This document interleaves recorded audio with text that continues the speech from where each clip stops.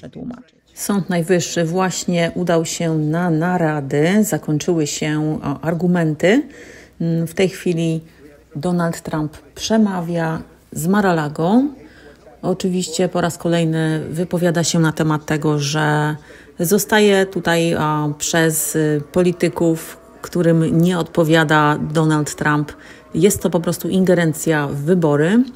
Mm, teraz Donald Trump udaje się do Nevady na Caucus. Następnie Donald Trump wypowiedział się na, temat, na temat konfliktu pomiędzy Rosją a Ukrainą, że kiedy on byłby prezydentem, to do takiej sytuacji w ogóle by nie doszło i to samo z Izraelem. Absolutnie nie miałyby miejsca takie wydarzenia, jakie mają teraz miejsce. Mamy teraz do czynienia z sytuacją na świecie, która może doprowadzić do trzeciej wojny, świat, wojny światowej. I jeżeli chodzi o Bidena, to jest najgorszym prezydentem w historii. Za każdym razem, kiedy obserwujemy bomby, to każda bomba kosztuje, to, kosztuje nas milion dolarów. Wiele ludzi ginie w zupełnie bezsensowny sposób. Jest to zupełnie niepotrzebne. Oglądałem dzisiaj sprawę w Sądzie Najwyższym.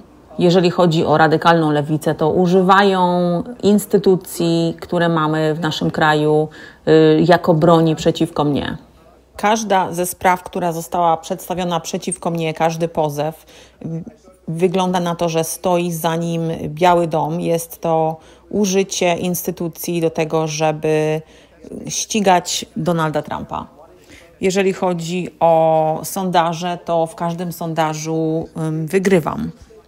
Jeżeli chodzi o to, dlaczego wygrywamy w sondażach, to myślę, że dlatego wygrywamy, że wolą y, te cztery lata, które mieli mnie jako prezydenta, niż to, co teraz widzą przez trzy lata ostatnie, co reprezentował sobą Biden. W naszym kraju jest teraz wiele przestępczości.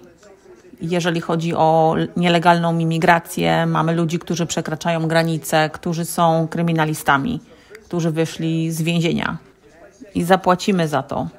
Mieliśmy najbezpieczniejszą granicę za mojej prezydentury. Teraz się to skończyło. Nawet kraje trzeciego świata nie mają tego, takiej sytuacji, jaką my teraz mamy. Dzisiaj w Nevadzie jest kokes. Miejmy nadzieję, że będzie to dobry wieczór. Jeżeli chodzi o sprawę z Nowego Jorku, to oczywiście również jest to niesprawiedliwe, dlatego że Maralago jest warte o wiele więcej niż mówią w pozwie sądowym.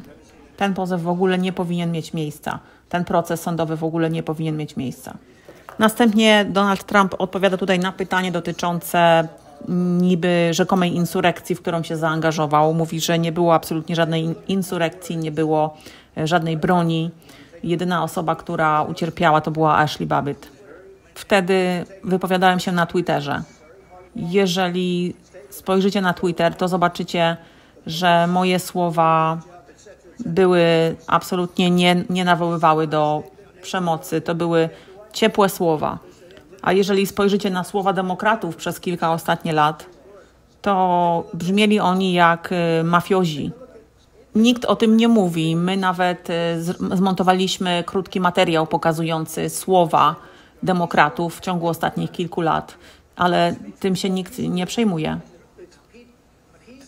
Powiedziałem pokojowo i patriotycznie. To były słowa, których użyłem. Więc, więc spójrzcie na to, co naprawdę powiedziałem. I wtedy będziecie mogli spojrzeć na to obiektywnie.